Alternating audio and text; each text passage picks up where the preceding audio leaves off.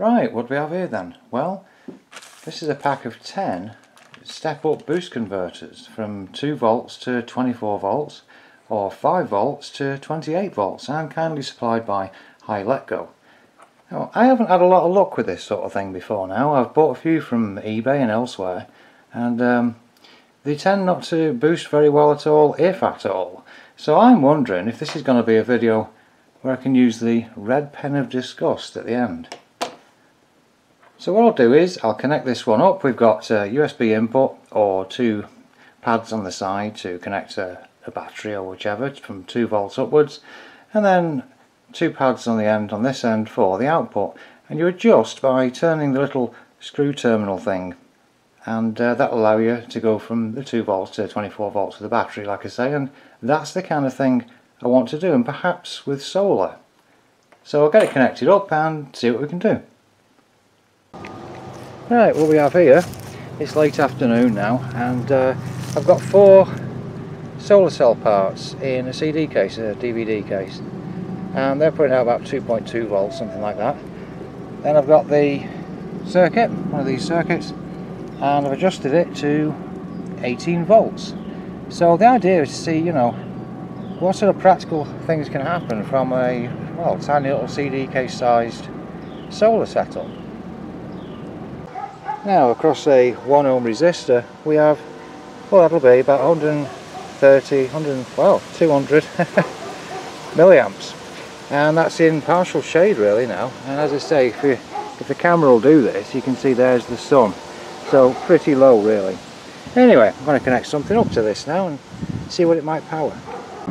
I suppose the obvious is a 12 volt battery. Now this one is actually pretty poorly, it's at 6.23 but I'll connect it up anyway and see what happens.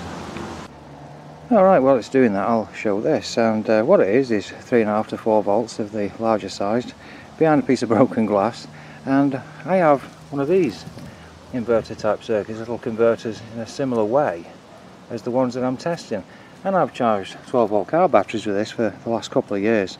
It works really well, it's got wet on one panel with the last couple of days of rain but um, who's that fella there? Little grasshopper or something. Anyway, he's not important.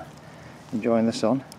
So I expect the other system to work as well. This is my usual way, like I say. I've not got a 100 watt panel or anything like that, so these are the only large type of cells I've got. So they go into that uh, converter there and off to the car battery. Hello Kalo, you inspecting? Right, I've had this running for the past few minutes and you can see the way that the sun's not really hitting it now. But uh, anyway, anything above that 6 point whatever would be a win, wouldn't it?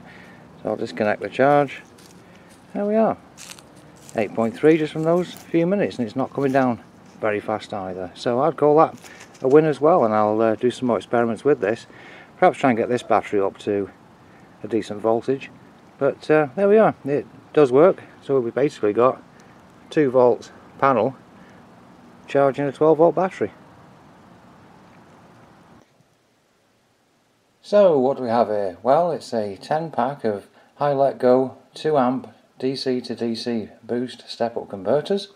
They work from 2 volts to 24 volts or 5 volts to 28 volts using the micro USB input.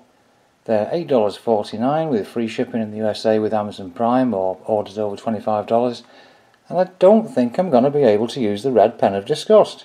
I like them, they work, and it's a bit of a change too for these little converters. So, there we go, a tick from me. Okay, thanks for watching.